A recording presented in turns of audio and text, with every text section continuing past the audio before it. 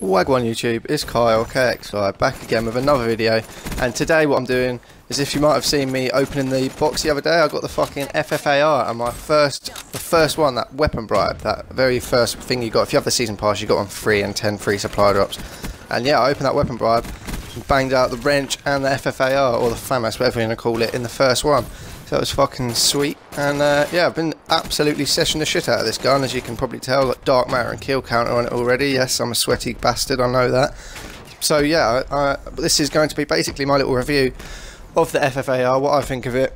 And yeah, so basically I think it's fucking sick. And I don't know if that's just because it's a new gun. I've not had any new guns so far in this game up until this point. And then in the last couple of days I got the MX Garand and this, which is crazy. But yeah, this gun it's a fucking machine. It just it's, it's it's probably Nuketown as well. I think it's Nuketown that really plays to this gun because it's got such a crazy fire rate. It's got such a well, it's not got such a small clip size, but the the, the fire rate just makes it feel like it's got a really small clip. So I think extended mags and fast mags also are two absolute essential attachments on this gun.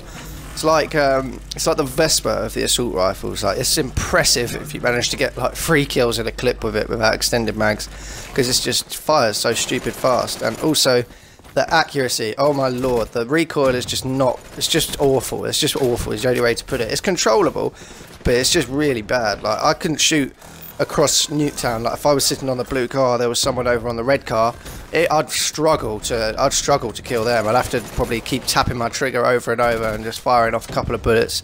But yeah, it's it's just it's really not got the uh, the recoil is not great. But that's what that's what it says in the description. It says fastest fire rate and it sacrifices this because of the recoil. But the Nuketown, like I say, Nuketown just plays to this gun's strengths. It's so close range, you can get up close and personal. You play with it like it's a submachine gun, and uh, yeah, wax stock on it. I'll tell you my setup for this. I've got the um, Elo sight, obviously. I've got extended mags and fast mags, like I mentioned before, stock and grip.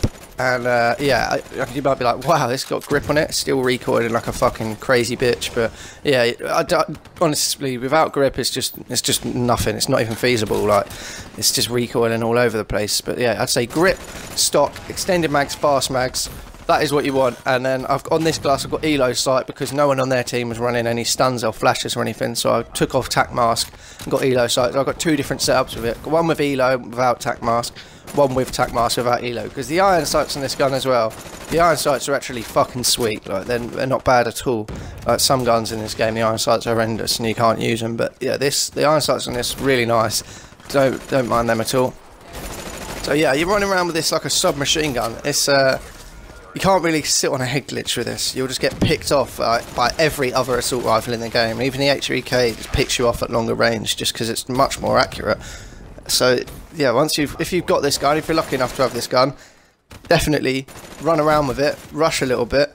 You can't you can't really post up. You just can't. So yeah, give it a go. It's it's actually it's a melt machine once you do that. I tried rapid fire on it, but obviously the fire rate's just stupid already, and I, I didn't honestly I could not notice a single bit of difference with rapid fire on. So just thought that was a bit of a pointless attachment. Long barrel. I haven't had a proper go with long barrel, and oh one sec, let me just pick up that cheeky quad feed. I haven't had a go with long barrel yet. I don't know what it's like, but I never really go for the long range shots, so I'm not sure how effective it'll be, just because it's just so shit at long range. But that that might that might make it better. You never know, but it's not going to do anything to the recoil. And that kid just thought he could fucking hide there. No way, mate. No way. So yeah, we're coming to the end of this game now. Um, I don't know if you saw. I absolutely tore shit up in this game. it's not always like this. It's the thing. It's sometimes it's an on and off gun. This, but yeah, like from from what I've been using, I've got like what is that? Nearly 1,500 kills. I think that is nearly on the kill counter, and. Uh, yeah, so I've been sessioning it a bit. 71 for 13 was the final score in that game. Not too shabby, not too shabby. I haven't had any nukes of it so far. I had one because I've been just going through the levels, getting the um, kill counter. I had one when I just about got, I didn't have any of the good attachments. I had like grip and quick draw, and that was it. And I went on a 23 or 24 or something. So let me know if you want to see that. Um, I might not. I've got quite a few nice little four or five man just turn ons and shit as well with it. So I might make a little a um, FFAR montage. Drop a like if you like this one. Drop a subscribe if you're a Babylon. Thank you very much for watching, and I will see you on the next one.